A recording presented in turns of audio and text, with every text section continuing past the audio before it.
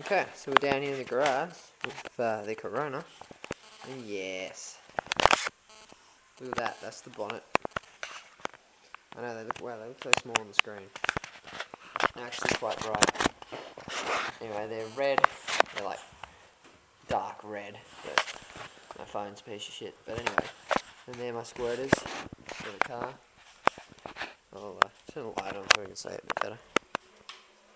Anyway, so, uh, yep, that's them. Sitting on the bonnet of the Corona. And I'll just pause it and uh, show the other thing.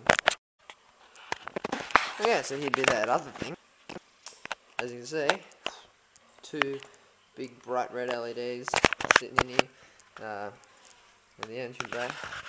So once again, you can see more than it looks like you can, but um, piece of shit, uh, piece of shit camera.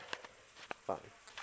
Anyway, so yeah, the whole engine is bright red, so it shines right out, and even comes through the scoops a little bit at night. So I'll pause it, turn the light back. So yeah, as you can see with the light on, two big LEDs. So uh, yeah, anyway, that's what the Corona looks like now at night time.